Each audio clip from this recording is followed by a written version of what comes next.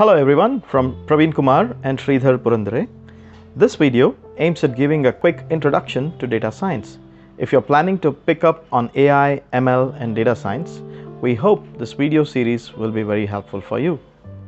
Many people, including techies, feel that data science is a complex subject and refrain from getting into it. I'm here to break that myth. Agreed, there are lots and lots of jargons, but most of them are really simple. CNN, RNN, LSTM, GRU, Pareto principle, law of large numbers, decision tree, a priori, SVM, and the list goes on, making a newcomer overwhelmed just looking at the number of concepts to be learnt. But trust me, each of these are quite easy to understand and simple to learn. I will explain most of these over a series of 5 to 6 videos. After seeing them, you will be able to talk about many of these terms to others or even better, make a video series like I just did. Data science is a concept that unifies statistics, computer science and business domain. Think of it like a student reading and understanding the syllabus for an exam. In this case, data science is about reading and understanding your data and then answering or predicting the outcome. Data science is focused on extracting knowledge, insights, and trends from data sets, which are typically large. Are many keywords associated with data science. Artificial intelligence is a bigger area which comprises of everything related to machine mimicking human behavior including robots, hardware and software. Machine learning is a subset of AI which purely uses statistical methods and software program for analytics and prediction to improve with the experience. Deep learning is a subset of ML which makes the computation by using multi-layer neural network similar to human brain. Data science is everywhere. Think about it. Your social media like Facebook, Instagram uses lots of AI ML like friend suggestions, posts customized to your liking, etc.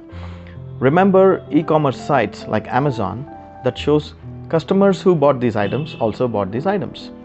Apps like Uber, Google, Maps uses AI to show the best routes that can avoid heavy traffic, travel in the shortest time.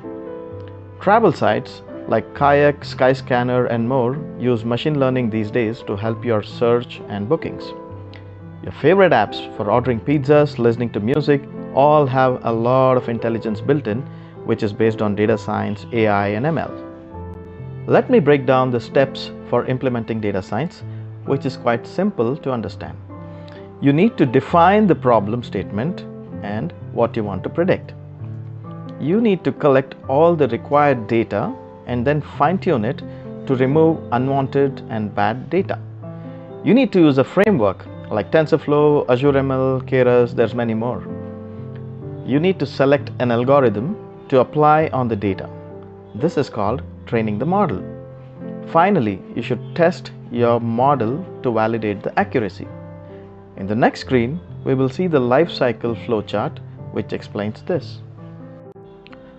After ingesting the data in one location, we need to clean and normalize the data. This is called data preparation. This means handling null values, removing rows that have bad data. For example, if a field like age is minus 200, it does not make any sense. Then we select a statistical algorithm using your favorite programming language like Python or .NET and apply it on the data to study and understand it.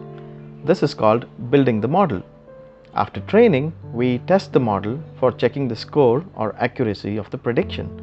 Finally, your model can be deployed in the target system. If you plan to become a data scientist, here are three steps you can follow. Learn statistics. No, no need to learn in depth. In a couple of hours or a day, you can brush up on mean, median, mode, confidence interval, hypothesis testing, etc. Next step is to learn some Python. You can go to sites like W3 Schools where you can learn and try on the website in simple and easy manner. It may take couple of days to couple of weeks to get hang of NumPy, pandas, reading and writing CSV files, drawing bar and pie charts. Last step is more exciting. Apply the above two steps on your problem statement. You can go to the website GitHub or Kaggle. You can find ready-made working code for predicting cancer or house price analysis or even face recognition. Copy paste the code and the- run the programs to see the result. Modify the code and see the magic. What are the activities of data scientist? Collect and analyze data for predicting outcomes of the given problem. Work with stakeholders. Mine and analyze data from databases. Check the effectiveness and accuracy of new data source and data gathering techniques. Work on machine learning program using la- languages like Python, R and data frameworks like Keras, TensorFlow, etc. Here is a quick recap. We looked at what is data science, why is data science popular, we looked at how to implement data science, we also looked at how to become a data scientist and what are the different activities of a data scientist. If you have any questions regarding this video or series, please feel free to ask me in the comment section and I will try to respond as soon as I can. Thank you for watching the video. We hope you liked it. There will be more videos coming soon. Keep watching this space. Goodbye and have a nice day.